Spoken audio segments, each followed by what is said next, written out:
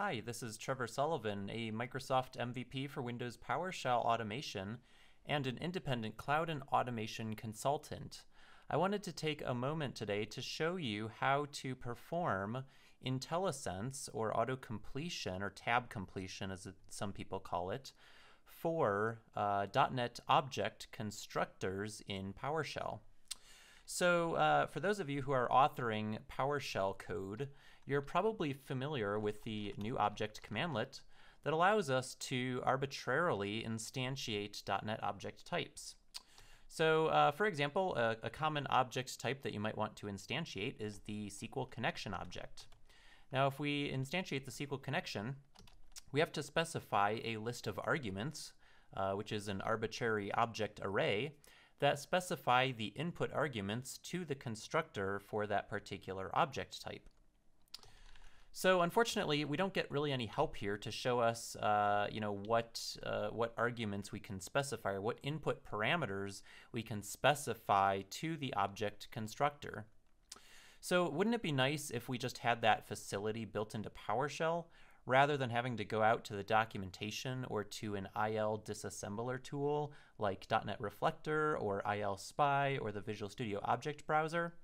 Well, thankfully, thanks to the Tab Expansion Plus Plus module from Jason Shirk, who's a Microsoft employee on the PowerShell core team, and thanks to an extension that I authored just today, uh, August 28th, 2015, uh, what we can do is add auto completion for those parameters. So what does that look like? Well, I'm going to show you how to get started. Uh, so for the sake of example, we're going to go to my uh, C users Trevor Sullivan documents, and then go down to Windows PowerShell and modules. And we're going to go to this tab expansion plus plus folder here because I've already installed the module, and we're going to go ahead and delete that because uh, normally that does not show up on a vanilla system. So what we want to do is go out to uh, GitHub and go to uh, tab expansion plus plus. So github.com slash uh, LZYBKR. That's uh, Jason Shirk's GitHub account. And then he's got a repository out there called tab expansion plus plus. Now, there's a couple of different Git branches available in this module. It's kind of taken a back burner to some of the other work that Microsoft is doing. So unfortunately, it hasn't been updated on the master branch in some time. However, there is a new branch called drop scanning registration that's got some new mechanisms built into it. Uh, you know, basically how how argument completer functions are registered. It's kind of an implementation detail that we don't really need to worry about. What we can do is come over here and download the zip file for tab expansion plus plus. Uh, we can open that up and then we can simply do a copy install, which basically just means we uh, drag and drop the contents out to our Windows PowerShell modules directory. Now, because the actual module name is called tab expansion plus plus, we're going to want to rename that folder so that the folder name matches the um, module manifest name, right? So these need to match in order for PowerShell to dynamically pick up that module.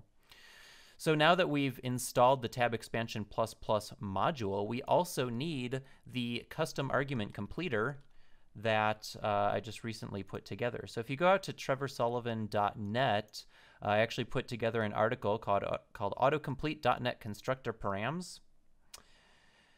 Uh, I should probably specify that that's for PowerShell, but if you, start reading, it's pretty evident that that's uh, specifically related to PowerShell. And if you scroll down here, um, it actually has the installation steps here all laid out for you. So first is to copy install that tab, expan tab expansion module. Uh, it does also point out that you have to use the drop scanning registration branch because of the new registration mechanism that that uses. Uh, so don't use the master branch. And then the second step is we need to copy the custom argument completer that I wrote, which is out on uh, gist.github.com.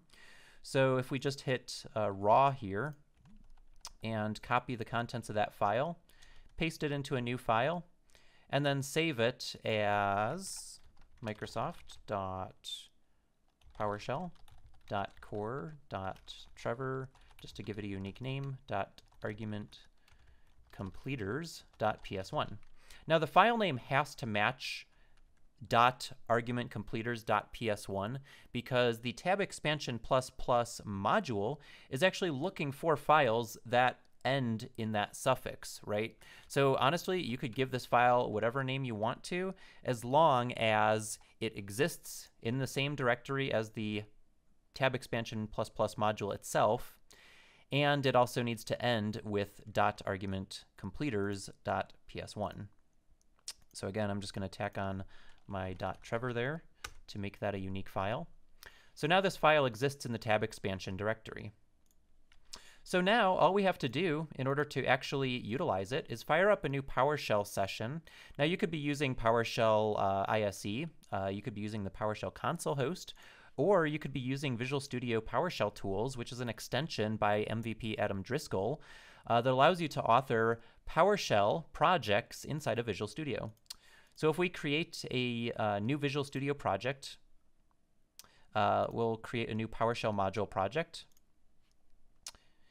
And all we really need to do is go down to the PowerShell interactive window and type import module name tab expansion plus plus. Now, um, we actually have uh, a little problem here, which is that the when we extracted the files uh, they are actually um, uh, there's um, alternate data streams that are attached to them, basically designated designating that they've been downloaded from the internet. So what we need to do is go out to um, Documents, Windows PowerShell slash modules slash tab expansion plus plus, and say unblock file star.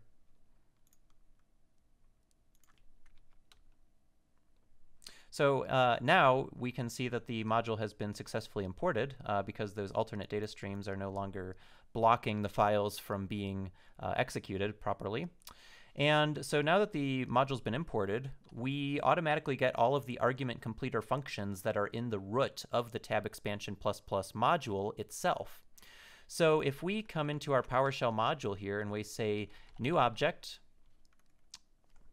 dash type name uh, let's say SQL connection, and we'll use auto completion to complete that. That's that's built in. That's not uh, custom through Tab Expansion plus plus. That's just that's part of the core PowerShell IntelliSense. But then if we go to argument list and we hit space after that, you can see that we actually get this list of constructor signatures that's built directly into PowerShell.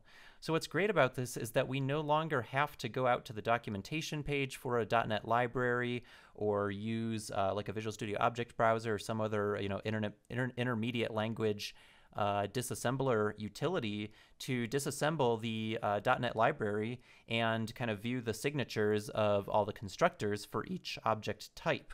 So now we can simply come in here and um, you know build out our parameters much more rapidly than if we did not have this tool available. So for pretty much any um, object like IP endpoints, uh, you know, here's the signatures, here's the constructor signatures for IP endpoints. Um, if we want to build a PS credential object, we can see the signatures for that. So there's two different constructors for that. So this is a really cool utility. Um, I hope that you guys uh, benefit from this. Uh, thanks to the functionality that's provided by Jason Shirk's Tab Expansion Plus Plus module, uh, this was all made possible. So all I did was took about 30 minutes and I wrote a custom argument completer function for the Tab Expansion Plus Plus module, and that extended the capabilities of PowerShell's IntelliSense. So uh, I hope that you guys find this uh, utility useful. I hope you find this video useful as far as how to get started and how to actually utilize this capability. Uh, if you want to learn more about me, you can go to trevorsullivan.net, my website, and you can also go to twitter.com slash pcgeek86. Thanks for watching, and we'll see you next time.